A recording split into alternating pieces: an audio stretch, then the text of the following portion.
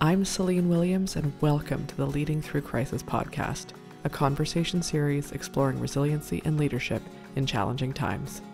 My guest today is a familiar face to those of you who have been watching for a while, and going to be a familiar voice to those of you who listen. It's Dr. JJ Kelly, also known as the Punk Rock Doc, who has been on the episode on the on the show a number of times and has recently written two new books to add to her collection Holy shit. So, this is Anger, the complete guide to honestly assess and effectively manage explosive and implosive anger without toxic positivity. I really appreciate your commitment to the titles. And uh, holy, holy shit, what do women want? The Young Gentleman's Guide to Creating Love and Partnership. Thanks for coming back, JJ. Thanks for having me. That is a real thing. Like, I tried to pit to pare that down many times, but it I just had to say everything in there that I wanted to say. I appreciate it. I like I like that there's clarity. You know what you're getting into and you read the title, you're like, okay, this is one of those times where you are judging a book by the cover. well said. Yeah. Yeah. Um, so I I I actually I know I said this right before we hit record. Also, I'm sure this conversation will go a thousand different places because it always does with you. But what I said is I'd really, I'd actually really like to talk about anger because, man, one, I think people don't understand anger a lot of times. I think they don't name it effectively. I think they don't know what it looks like, especially if it looks different than however they express anger. I think they mm-hmm. don't know what to do when they feel anger. I just there's so much about it that's like, oh, we don't talk about that, or it's so over the top that then we avoid it. Yes. Oh my gosh. That is a really decent summary of pretty much why I wrote the book. Yeah. And uh, what I would add to that is the spiritual bypassing and the toxic positivity trend is driving me insane. So that's, you know, that's why I had to have that in there there's implosive, there's explosive. People avoid talking about anger because the explosive kind scares people. But my point is the implosive shit, the putting a lid on it and repressing anger for decades makes people makes it come out like sideways and people do fucked up shit then. And that I find scarier than the explosive kind. Not that I'm excusing that, you know, violence happens from that too. So we don't but I mean, that's the one that gets all the bad press that makes people avoid anger altogether when it's just a natural emotion that everyone has. So we want to learn how to manage it effectively.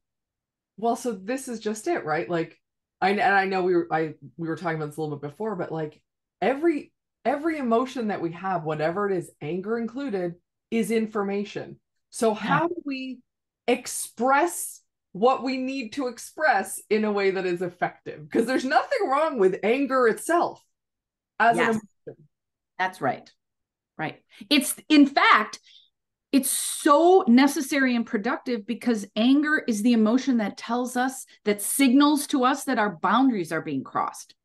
Yeah. So that is pretty necessary for like even safety. Sometimes emotional safety, certainly. Yeah. Um, you know, uh, not getting manipulated at work or anywhere. Mm-hmm. You know, you get a vibe from someone, and or you know, if you what what are they doing right now? That's not okay with me.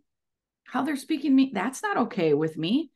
Like, do I say something? Do I let it go? But you can't even get to that assessment and problem solving without the validation, the naming of the emotion in the first place.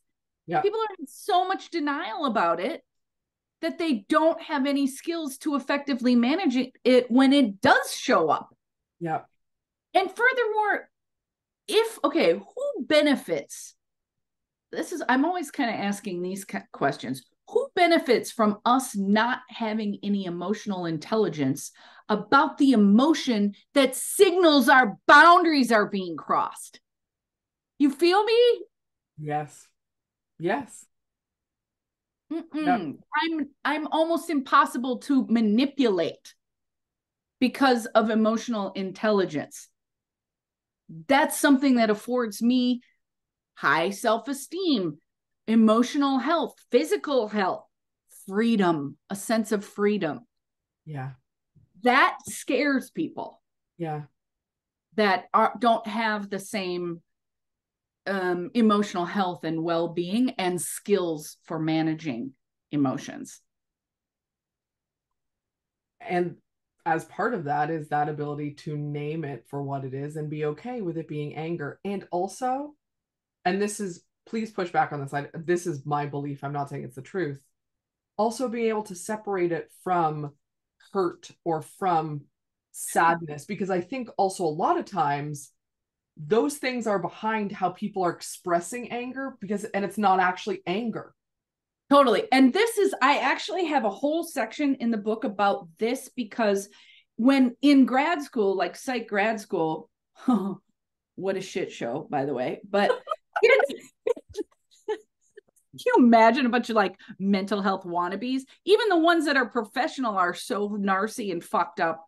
Anyway, I have a whole section on this because it's it's taught as like a secondary emotion, which I think has a little I've always sort of thought it has a little bit of a invalidation of it as a primary primary secondary. I didn't right. I never liked that language, but I do think that the several emotions can happen at the same time sure Absolutely. i think there are cultural things like i talk about how being irish american and um, midwestern family of origin that anger was an emotion that was acceptable in our family whereas fear was not mm-hmm. so i still have to watch when somebody i care about might be like doing something that I think was it they're harming themselves in some way, whether it be clients or personally.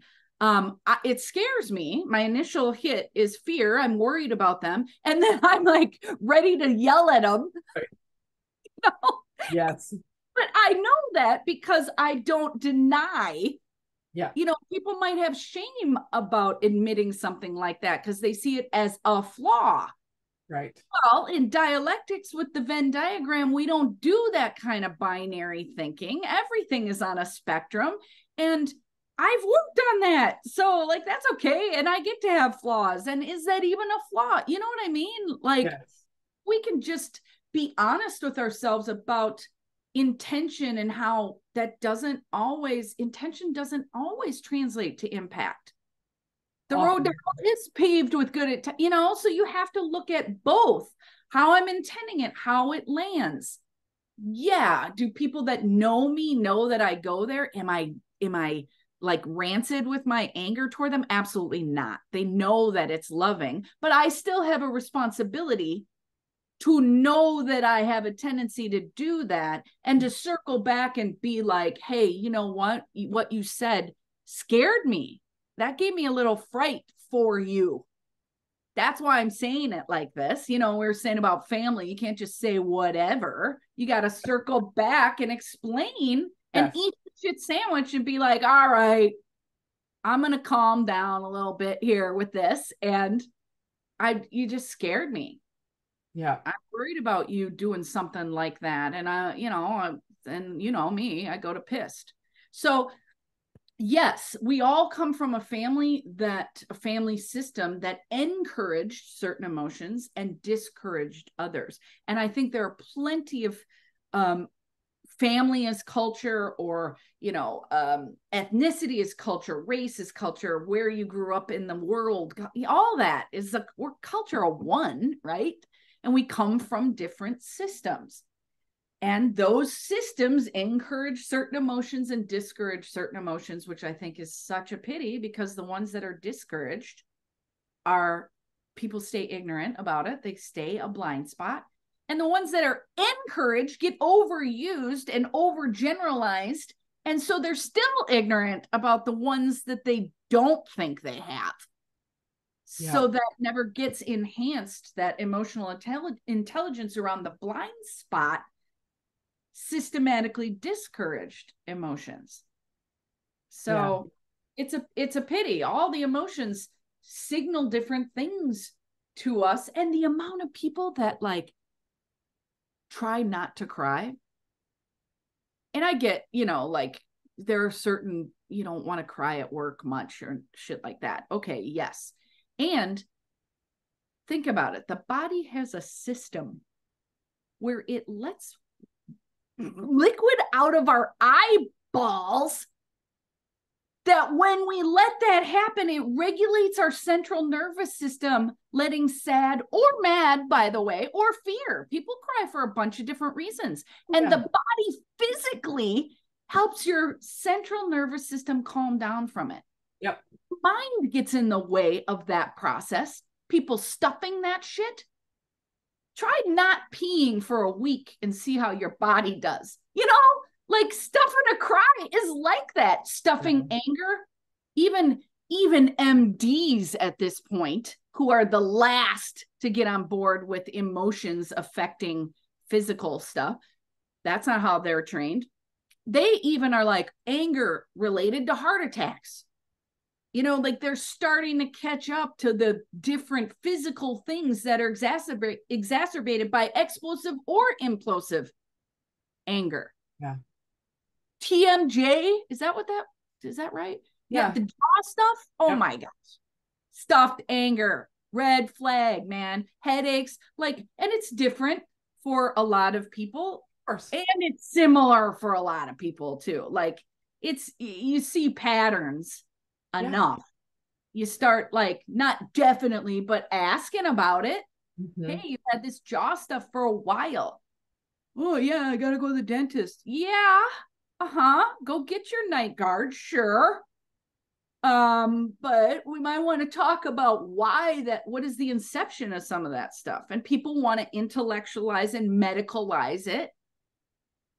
And not talk about the stuff they can't definitely prove with a book. I mean prove i mean what the hell? Yeah. Yep. I it's so I want to make a comment and then I have a question. It's funny okay. when you were talking about about crying specifically. I was I remember being I when I was a teenager I was like I'm I'm not going to cry. This is like I am going to control yes. my tears. By the way, I do not recommend this to anyone. Because teenage girls cry mad cry. Oh yeah.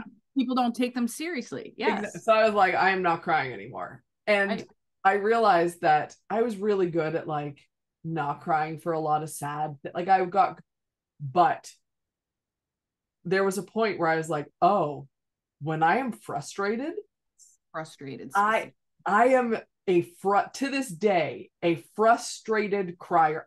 But I'm like I have no issue crying in general now. If it's going to happen, it's going to happen.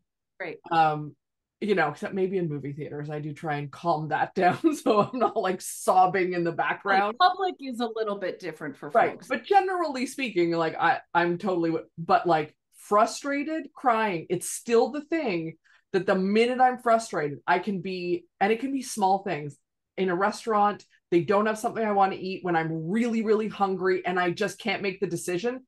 Cry, okay. frustrated, cry, right? Like it's so interesting and i just point that out because i think we that is a, I mean, that is a form that can be turned into anger but like there's nothing wrong with identifying that and knowing what that is and also angry crier is the other thing. The other time i cry which is that's why i'm saying to me that's often the route to anger at a certain point.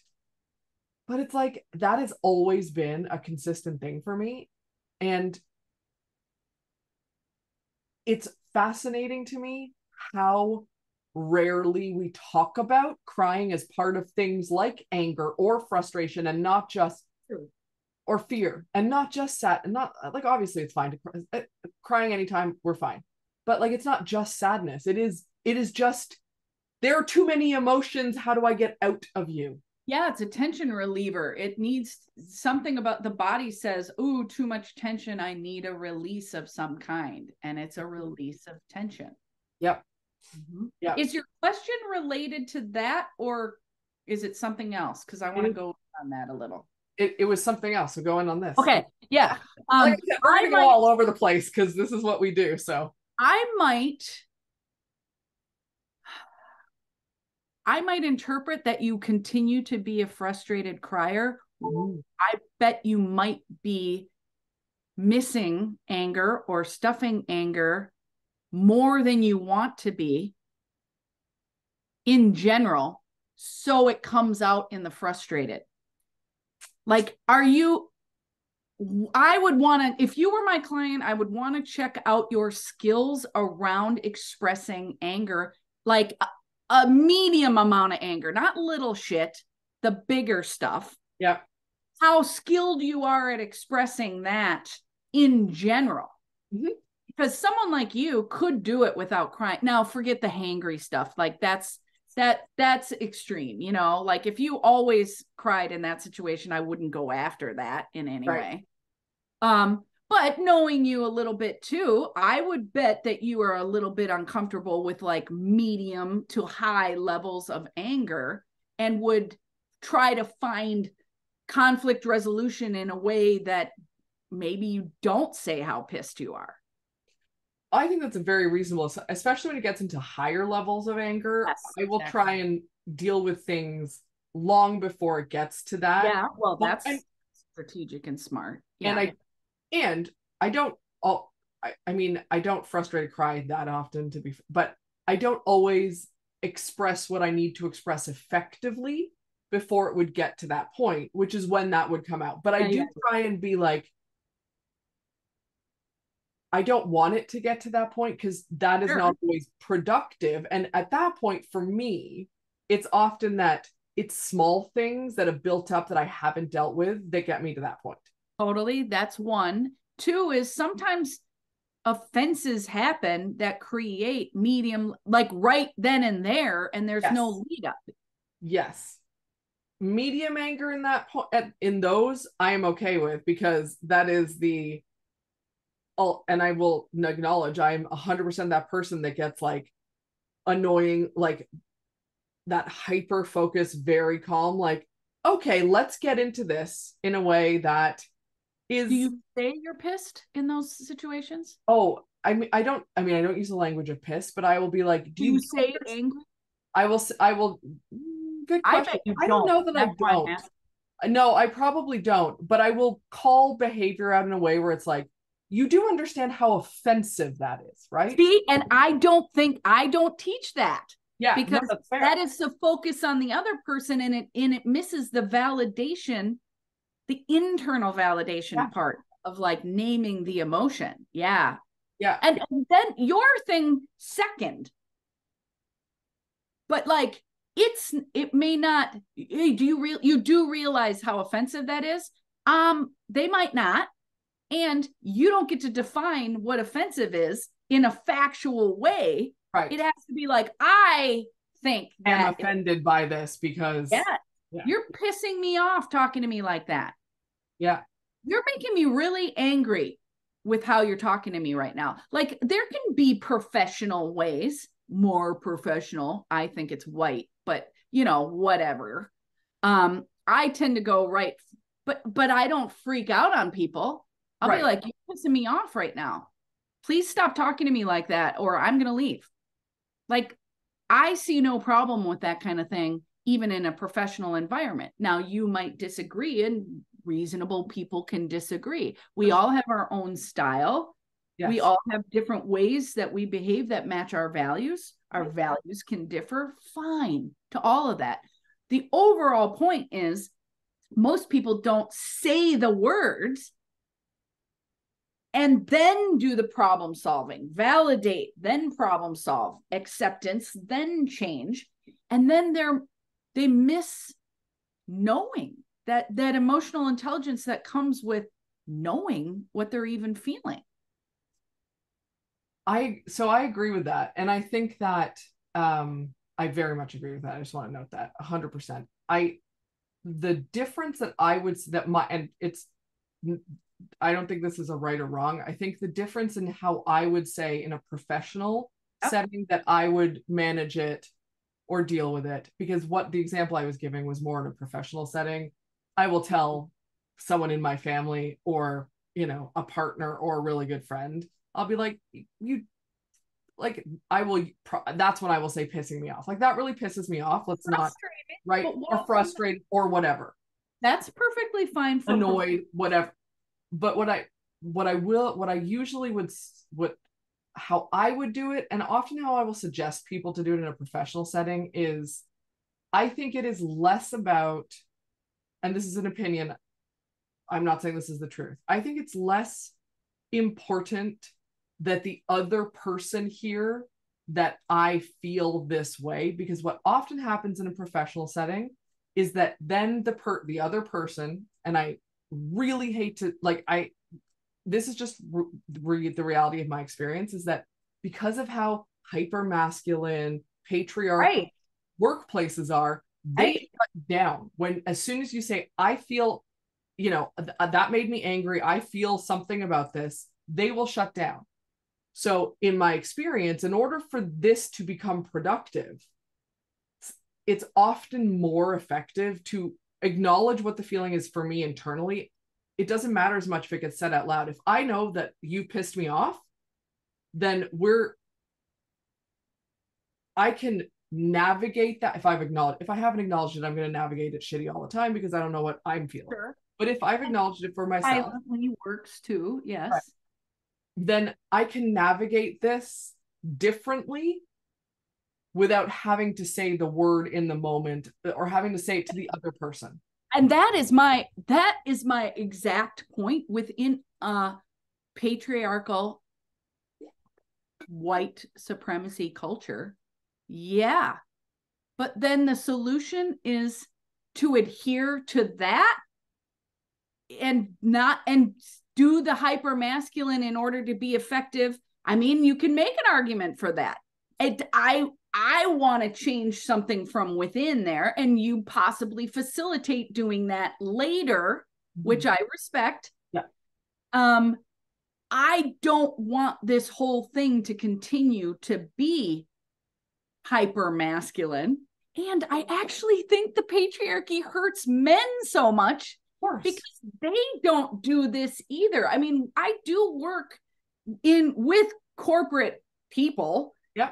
who do the I'm fr- maybe it's not pissed, maybe it's frustrated, maybe it's annoyed, but like do name the emotion within yeah. the corporate environment yes. in a way that matches your values and the company's values. Yep. Yep. I do think that has to change and that it will benefit everyone and i agree with you. And i i want to i don't i'm not saying you do this to continue to support this long term or any like by any stretch. Yeah i know.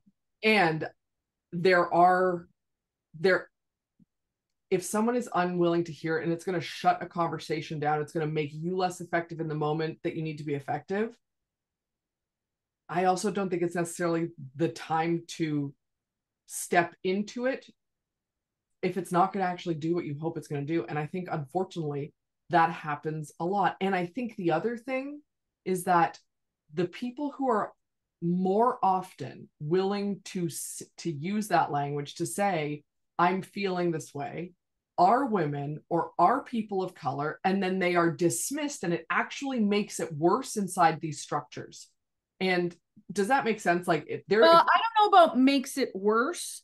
Um, I get the for effect them, for them. The burden for them is more what I meant. Sorry. Yeah, and that's victim blaming. Okay. I think. Um, I, I hear what you're saying, and I think it's fucked. like, uh, listen, I'm not justifying it. I just think that that's often what happens. I mean, do you know how many people try to dismiss my shit? I mean, it's only for the doctor title that anybody in situations of like high up male white that they even listen to me because having the doctor title is part of this structure that commands respect as if what I do and say doesn't command respect. Come on. But yeah, I know what you're saying. That's a reason to go into hell of debt to get the doctor title because that's what works in an imperfect system. So, yes, we are agreeing on yes. more than we're disagreeing. Oh, absolutely. I don't Absolutely. even think we disagree. I think we approach it differently. I'm a little older, and the doctor title does fucking afford. I'm saying the older, not because I'm wiser, because I'm less tolerant. I mean, I would also go with wiser, but I'll take less tolerant if that's where you um, Yeah, and and I just I ain't got no time for bullshit yeah. anymore. And the doctor title affords me some like leeway in this. I do agree with that. And I think that that's part of it is you do ha- and I, I think it's a wonderful thing to have that leeway to be able to say that and to to be that direct and change it. And I think if I think of people I've worked with or who are working organizations, especially those who are women or people of color, if they say that, oh, if I were a black woman, I'd be fucked. Right. That damages, and they don't have a doctor title. Their reputation is damaged in a different way. So a lot of what we talk about is like, you need to know what you're feeling, but then how can you express that in a way that lands for that person that doesn't damage your, so you can continue to be effective. And then, you know, we'll go, hopefully go back and move it along and change it in other ways. But I, I do like, I think it's why it's so important that you have a do- your doctor title and you do speak into these things and you have the opportunities to speak yeah. into these things with people because not everyone has that leeway. Yeah. Yeah, it's and, a way to use privilege for good. And look, the it's going to take I mean, I sincerely truly more than anything hope that these systems change.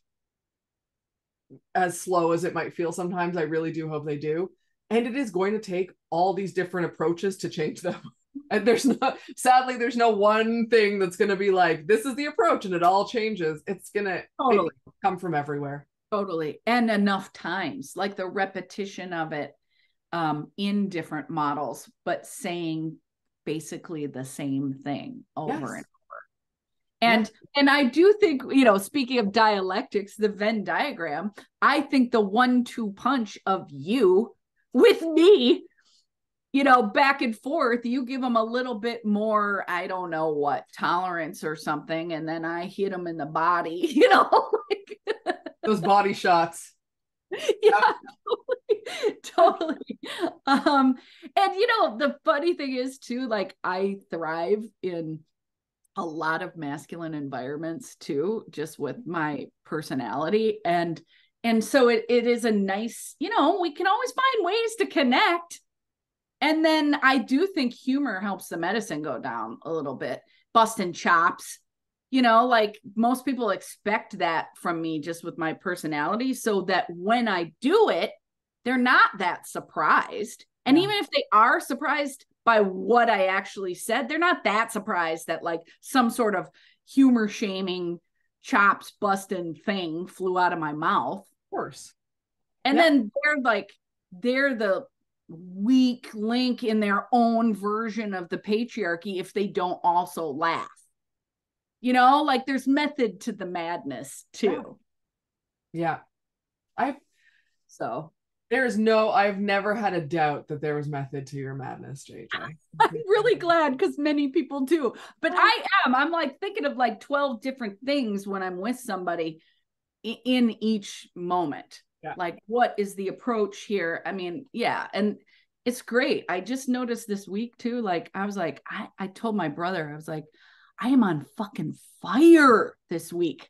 Like how have i every time i think like oh this is great to be so good at this when a leveling up i mean of course everybody levels up if they're like putting effort into their own growth in any realm.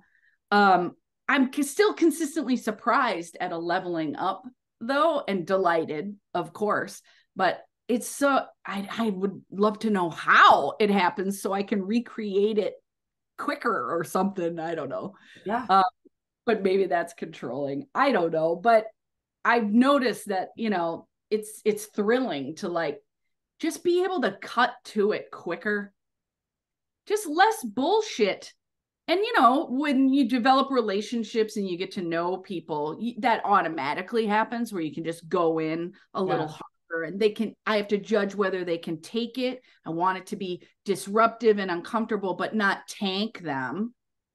You know so i'm always kind of doing this balance of discomfort tension but i don't want to hurt them yeah. I don't want them to shut down as you were saying. Yeah. Um but that tension is important all the time. Otherwise i'm just like taking money to enable people in their own bullshit. And that doesn't sit right with me so. So i think that I that concept of tension and creating tension Mm-hmm. I think is really interesting because I think a lot of people don't create, they avoid even creating a tiny bit of tension, often because they are afraid of someone being angry and Yes. retaliating or Yes. whatever, the, being vindictive, whatever it is. And so they create no tension That's right. and they don't talk about anything and they don't get into anything and then it's just avoidant avoidant which is then ultimately implosive anger comes out at the end of all of And that self betrayal that causes shame, which is actually probably the next book. Shame is such a sneaky one. They've betrayed themselves. It's required for co- consistent pleaser behavior. Self betrayal is required, and that is never shame free. And then they got to hide shame away because it's so uncomfortable to feel shame. And then that spikes anxiety.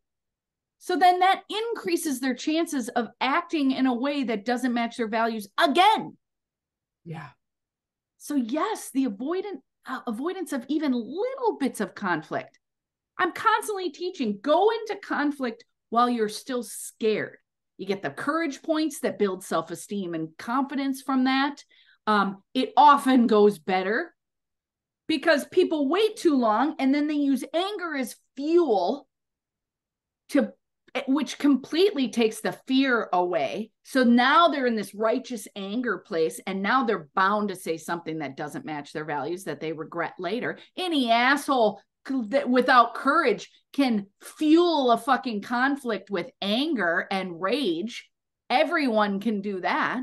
But then you're more likely to erode your self esteem than if you did it when you were scared. And then the courage builds your self esteem. You get to be proud of your behavior for doing the scary thing. Plus, you plan it out. You say, you know, I'll give people the steps to how to say the thing. You plan it out a little bit. So when you're scared, you don't say so many words and water the whole thing down. Less words is almost always effective, which is why anger as fuel works so beautifully because people don't do that hella words thing that waters it down. They go right to the bone, but they overshoot it because they haven't built any skills for how to do that kind of thing. Yeah. Like people with this profession, people have been raging out at me or passive aggressively taking digs at me for over 20 years. I see it coming before they even know what they're doing. So, an ability to not take that personally, like they're projecting stuff. I mean, I'm that that's the role, right? Like project your mom stuff or project your boss stuff or whatever. I said a word that you don't like that some teacher said to you that shamed you in second grade. You know, so I hold all this stuff yeah and don't take it personally so that it, we can stay clear and be like, hang on, hang on. Is this even about me right now? I can see you're angry. Let's talk about what it's about. And then to be exposed to someone who doesn't crumble in the face of rage or anger is such a comforting sort of redirect for people. You know, like not everybody's going to die if you're mad at them. yes. If more people have skills about how to like, Christ, there are a million things to be mad at. You think it's the thing out there's fault? What we're mad at resides within. And then the triggers flare that up. Our triggers are our responsibility, not other people's responsibility. Mhm. You oh, you just triggered me. Yeah. So what are you going to do about it? Quit implying that it's my job to manage your triggers. Even as a shrink, it's not my job to manage your emotions. I can teach you how to do that. I can model for you how not to be reactive to your bullshit. But it would be codependent for me to do it for you. That's not healthy. I'm not going to enable that. You sit with your discomfort. Yeah, you ought to feel some shame about what you just said to me. Yeah Now let's go back. If you had a redo, take a couple of breaths. If you had a redo of how to handle this, what would you say instead? What matches your values? Now we've regulated the emotion a little bit. I validated that you have the emotion, did not validate the behavior. And now, hey, let's do the redo. You can do that in life all the time. If you're ever up at night ruminating, oh, I fucking should have said this, that asshole, I'm going to give that him a piece of my mind. Any kind of nighttime rumination is usually pissed. It could be fear, but usually rumination is pissed. And so then go back. How would I deal with this if it happened for the first time tomorrow? I want to say how it made me feel. I want to say, do ask for something or say no to something. And then say why, if you even say why. You could just make the request. Please don't speak to me that way again. And then you could, well, I think our relationship will go much more smoothly when we communicate with mutual respect. That can be taught. It's actually pretty simple, that kind of assertiveness formula. And when you get exposed to your own anger or other people's anger, you build your emotional intelligence around how to manage it. It's the only way. Denial doesn't get you more intelligent about anything. No. It keeps it a blind spot. You keep yourself ignorant. That is smart people do that all the time. It's the dumbest thing ever. Yeah. Oh, yes. Yeah and then make up really smart sounding bullshit. It's still bullshit. I deal with geniuses all the time that do dumb shit. Because we're all human at the end of the day, like it or sadly. We all have defenses. We all have emotions are not encouraged. I mean, much more so with female bodied people. But in general, you're saying too, even when it's even when it's a woman, and especially if it's a woman of color, add queer in there too anything that's non-majority and then it's you're you're going to get dismissed. Yep. Or being emotionally intelligent unless you're bombastic like me and you're you follow up and you're like hey do not dismiss what i just said. Me feeling frustrated by what you said to me is actually a pretty natural emotion considering the dickish thing you just said to me. Right yeah. And if most people are not willing to do I've so many years of practice. But like sometimes that is the only thing that's it's, it's like surprises them, you know, it like stops them in their tracks. They've never had that happen before. And you only have that element of surprise kind of once. Yeah. With people. Yeah. I think it's that I think, oh my God, there's, I know we have to wrap in a minute and there's 100,000 things that I want to say per usual, but I, there's, I think people are so afraid of what someone else might do. And I think so many, when, if they were to have a conversation like that, and I think so many people will hear something like, don't talk to me that way. And the people pleaser in them goes, okay, cool. And they don't acknowledge that they're upset at that or pissed or have a reaction and they people please and they're like yeah of course. And then it builds resentment then it comes out another way. And i think totally. there's so many layers of that that build up from that which is because people take things personally. One of the things that you said was you don't take things personally. And i strongly resonate with that because i i pointed out to people all the time you know and i'm always like i know it's not about me and I will say that to people, I know this isn't about me. So let's have this conversation because if it was about me, we'd have a very different conversation. But I know, I know it's not.